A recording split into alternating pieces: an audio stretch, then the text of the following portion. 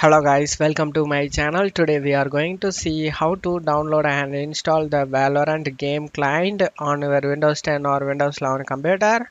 I'll show you guys how to do that. You just need to open up any browser you are using it and search for Valorant. Press enter. And now comes up playvalorant.com official site. Click on it and now after entering the official site you just need to click on this address bar over here. And at last of the slash you just need to type download. And now after typing download over here after the slash press enter. Now opens up a download page guys. You just need to click on this download option it started downloading.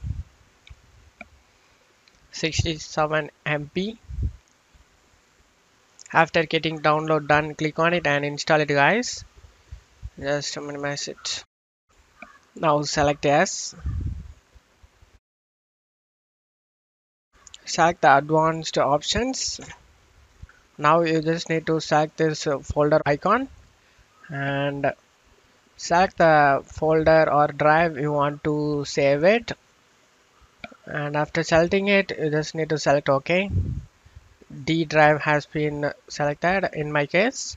After selecting it select install guys. It will be started installing in this drive D drive 31.3 GB in my case I am not gonna install it but you can proceed to install it guys select the install option and install it guys? I hope this video helped you guys. If the video helped you don't forget to leave a like guys. You can also subscribe me and support me guys. Thank you